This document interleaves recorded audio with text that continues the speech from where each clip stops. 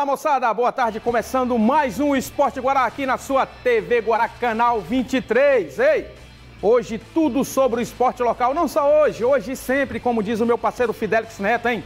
Ei, gordinho que tá fazendo falta, só tá tirando férias. Diz que, tá, diz que, diz que ele foi visto lá em Cancún, lá em Cancún com Fábio Lopes, filho do Raimundinho, que estavam lá curtindo aquela praia mexicana sensacional. Ei, parceiro, pelo amor de Deus, é, rapaz, hoje tem muita coisa boa aqui no programa, hein?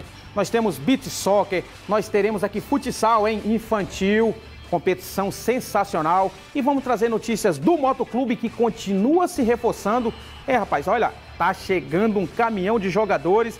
E olha, o ano de 2019 promete para o torcedor do Papão. E temos também aí todas as informações da preparação do Sampaio Correia visando esse penúltimo jogo um jogo melancólico, um jogo sem nenhum atrativo, diante do Boa Esporte pela Série B do Campeonato Brasileiro no Castelão no próximo final de semana. Mas vamos iniciar com o Bitsock, hein? Bitsock que está na sua terceira etapa do Campeonato Maranhense, do estadual, se inicia hoje na cidade de Caxias. E lembrando o seguinte, hein? Olha, as duas primeiras etapas, na etapa da Grande Ilha, se classificaram o São Luís, o São Luís já se classificou e Passo do Lumiar para a fase final. E na etapa da Baixada, onde o Pinheiro foi campeão em cima do Santa Helena, as duas, equipes, as duas equipes também já estão classificadas para a fase final. Nós temos aí imagens aí, ó. Isso aí é do time do Pinheiro, acho que é do, é do São Luís, se eu não me engano. É, e a terceira etapa se iniciará hoje na cidade de Caxias. E o primeiro, o campeão e o vice-campeão também já garantirão vaga para a fase final do estadual de beach soccer. Lembrando que o nosso Chicão é o treinador da seleção brasileira. Nós temos o Datinha que há muitos anos vem brilhando com a camisa amarelinha e também brilhando, levando o nome do, de, do, do, Maranhão, o nome de Tutóia para o mundo todo. Então, sem dúvida nenhuma, o Maranhão é um celeiro de craques do beach soccer, rapaz. E mudando da areia, vamos para as quadras, rapaz. Olha, estamos tendo uma competição sensacional dos garotinhos sub-6, sub-8, sub-10, sub-13, sub-15 na Associação da Caixa Econômica, na APSEF. E nós temos até um videozinho, se eu não me engano, é, tá aí as imagens quando eu vou falando. É, hoje a rodada prossegue, hein? A partir das 18 horas. Você que é amante do futsal, você que quer acompanhar essa geração nova que está surgindo no futebol maranhense, a partir das 18 horas na APSEF, vai ter a, a rodada completa. E o destaque hoje é para o Sub-8 do Cruzeiro, hein? Da Escolinha do Cruzeiro, que vai estrear na competição hoje. Olha, são jogos maravilhosos. Eu acho que o mais importante é você ver a participação dos pais. Eu estive presente na última rodada, time do Cruzeiro, inclusive, que joga o filho do nosso diretor aqui, o Saulo do Alibe, que é o João Vitor. É, o time do Cruzeiro aplicou uma goleada sensacional. Então, você se tiver a oportunidade, a partir das 18 horas, na Associação da Caixa Econômica, vai lá prestigiar os meninos. Está aí, ó, a tabela. É, você tem a rodada aí, ó. Moto Clube venceu por 4 a 0 Não, esse é o resultado do, da rodada passada. Nós já passamos até aqui. É, eu quero saber se tem os jogos de hoje. Esses aí são os resultados da rodada passada, nós mostramos aqui. É, então, a partir de 18 horas, na APSEF, ali no Calhau, vai lá prestigiar os meninos e eu tenho certeza que você vai dar uma contribuição enorme. Até porque eu vou te dizer uma coisa, hein? Quando somos garotos e quando nós vamos jogar, às vezes a, a presença dos pais é importantíssima mas eu acho que vale também a presença de todos. Aqueles amantes do futsal, vai lá prestigiar, até porque tem garotos que eu tenho certeza que tem um futuro brilhante. Então hoje não perca, a partir das 18 horas, hein? Tá aí a rodada, olha, a rodada prossegue hoje.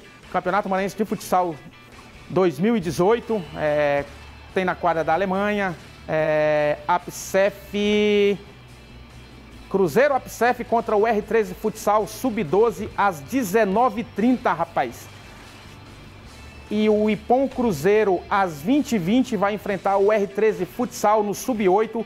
É a estreia do Sub-8 aí da escolinha do Cruzeiro.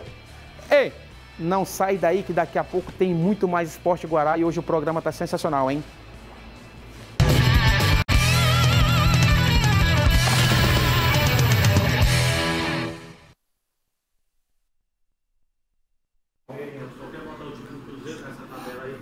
Mas ele não joga agora. Mas é pra te colocar, mandaram dizer. E Saulo, quando for colocar essas tabelas, joga. Era, era bom fazer uma tabela daqui mesmo, porque é muito pequenininho, pô. O Cruzeiro mandou o Palmeirinha pra casa de 8 a 1 domingo passado. Vai acontecer cabelo, pô. É o que aconteceu. Eu sem tempo, pô. Eu chego em casa, vai garoto já pra levar pro lado lá na porra desse moto, esse moto vai nos deixar Deixa nem nisso. outra, João Vitor, tá? E foi, ele já tá. É Ele já treina tá fumando, segunda, tá, terça, quarta quinta, pô. ele já tá fumando, é dessas coisas. Não, pô. E, e, em casa, É o tio? Pega e e- esse, esse stand-up do Sampaio aí é o quê? Uns. Milena falou que uns. Um minuto e pouco, né? Tem ela, ela dizendo, né? Só chama, olha. É, Não, não tem, não tem treinador. É uma matéria, é um off com uma, imagem de fim. Nós chamamos de informação de Sampaio. Pronto. pronto. Tu trouxe hoje, só. Ah, não, hoje é torta de frango. Porra, torta de frango, tu trouxe bastante. E aí ele traz pouquinho que eu posso comer frango e ele traz pouquinho. Quando é a carne de porco, Tem que trazer uma sopa pra ti. não, eu já tô, eu só posso comer comida reposa.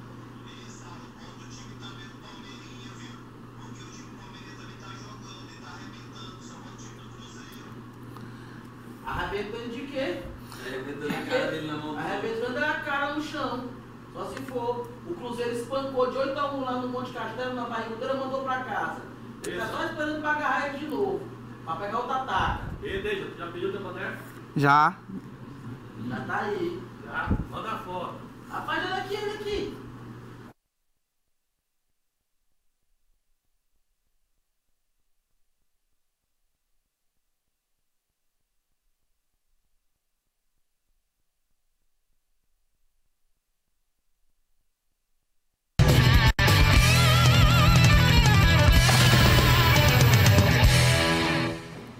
De volta, segundo bloco do Esporte Guará. Ei, rapaz, olha, vamos falar de coisa boa, hein? Pizzaria Della Costa, rapaz, véspera de feriadão.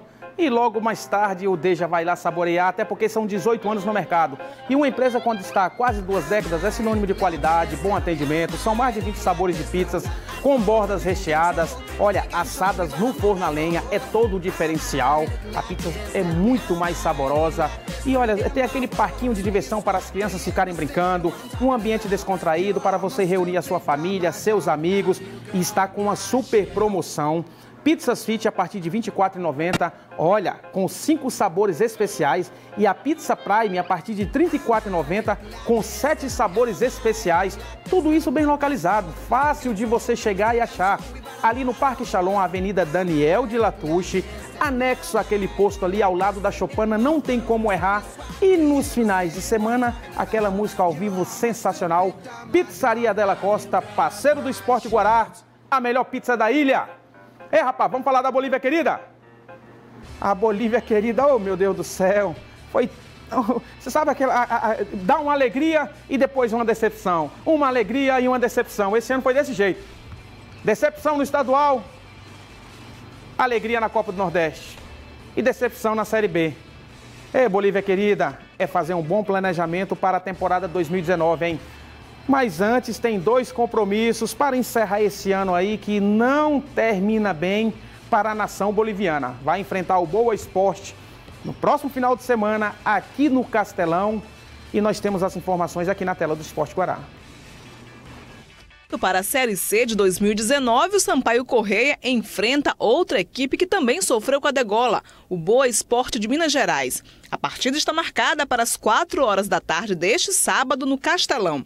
Para a partida, o tricolor tem duas voltas. O volante César Sampaio e o atacante Mateuzinho voltam a ficar à disposição de Marcinho Guerreiro.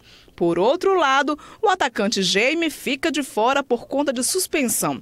Ele recebeu o terceiro cartão amarelo contra o São Bento e cumprirá suspensão automática. Marcinho Guerreiro ainda aguarda a liberação de um jogador. O atacante William Barros, que ficou fora da última partida por um estiramento muscular, vai ser reavaliado. O volante William Oliveira não deve jogar mais na Série B com uma subluxação no ombro direito. Tá aí, rapaz, as informações da Bolívia querida. É, tem a volta do César Sampaio, do Mateuzinho, mas em compensação perde o Jamie. O Jamie que tirou aquela urucubaca no jogo passado, fazendo um belíssimo gol. É... Sampaio venceu, mas não foi suficiente, não adiantava mais nada. Aquele ditado, né? Venceu quando não precisava, mas de fato eu acho que é hora da diretoria do Sampaio Correia, acho que se movimentar o mais rápido possível. Eu acho que a primeira providência que tem que fazer é a manutenção da comissão técnica. É minha opinião pessoal, entendeu? É manter o Massinho, manter Zé Augusto, o Fábio e manter o Júnior Ferreira, junto com o Arlindo Júnior, que já é da casa, manter essa comissão, porque eu vejo um futuro interessante para o Sampaio se manter essa comissão. Até porque tem competência, são jovens, está buscando o seu espaço no mercado nacional e tem tudo através do Sampaio Correia de conseguir isso, hein? E o Sampaio, que é matematicamente rebaixado junto com o Juventude e o Boa Esporte, vai pegar o Boa Esporte, que também está na Série C. Então aí nós já teremos um jogo que pode acontecer ano que vem na Série C. Sampaio e Boa Esporte. Olha, a rodada, a 37ª rodada da Série B se iniciou ontem. Acho que nós não temos aqui os resultados, mas destaque para a belíssima e importante vitória do Paysandu em Florianópolis, diante do Figueirense. Assisti o jogo. Confesso que torci muito para o Paysandu, até porque é um time vizinho do nosso estado aqui. Confesso que torci muito, fiquei muito feliz com a vitória e com o resultado positivo, coloco o Paysandu com chances de não ser rebaixado. Paysandu que vai fazer o seu último jogo em casa, ultrapassou o CRB, colocou o CRB na zona de rebaixamento. Basta torcer pelo CRB para que o CRB perca o seu jogo amanhã ou é sexta diante do Londrina, lá em Londrina. Acho muito difícil o CRB ganhar o jogo do Londrina para que o Paysandu, só com uma vitória simples, possa se manter na Série B. E a outra partida foi a vitória da Ponte Preta por 2 a 0. Tá aqui, ó. Esses são jogos de. Da, é, esses são, é o complemento da rodada que começa amanhã. Só, só para finalizar, a Ponte Preta venceu o Curitiba por 2 a 0 e tomou o segundo lugar da equipe do CSA. Veja a recuperação da Ponte Preta depois da chegada do Gilson Kleina. Às vezes a mudança de treinador, ela surte o efeito positivo, outras negativo. No caso do Londrina com o Roberto Fonseca, que saiu do Sampaio, hein? Ei, torcedor boliviano, tu lembra que o Roberto Fonseca foi mandado embora pelo presidente Sérgio Frota? Assumiu o Londrina e o Londrina deu uma subida no elevador sensacional e agora a chegada do Gilson Kleino também na, na Ponte Preta fez com que a equipe chegasse à vice-liderança e na última rodada, com um simples empate, dependendo dos outros resultados, garante o acesso para a Série A. A rodada prossegue amanhã, hein? Olha aí, ó, Fortaleza e Juventude. Fortaleza é aquele jogo da entrega das faixas, somente para comemorar. Juventude já rebaixado. Aí na próxima sexta-feira, às 20h30, Atlético Goianiense e São Bento. Londrina e CRB, às 21h30. E Brasil de Pelotas e Guarani. E no sábado, às 17 horas, CSA e Havaí. Esse é o jogo mais importante da rodada para mim. Porque é o terceiro contra o quarto colocado. Eu acho que o time que perder aí chega na última rodada de repente perigando a não conseguir o acesso. E o time que ganhar praticamente já está na Série A. CSA, tenho certeza, o estádio Rei Pelé vai estar lotado, torcida fazendo aquela festa. E a gente vai torcer, claro, para mais um time nordestino estar na Série A. Nós temos que ser barrista também, hein? Eu sou CSA nessa partida. Sampaio Correia recebe o Boa Esporte, as duas equipes já rebaixadas. E o Vila Nova vai receber o Criciúma no Serra Dourada e às 20 horas Oeste Goiás. Goiás também que está brigando para subir, jogo importante. Né, lá em Barueri, o Goiás precisa vencer para chegar na última rodada também, ali praticamente para obter um acesso para a Série A. Esse é o complemento da rodada da Série B do Campeonato Brasileiro. Não sai daí que daqui a pouco tem muito mais Esporte Guará.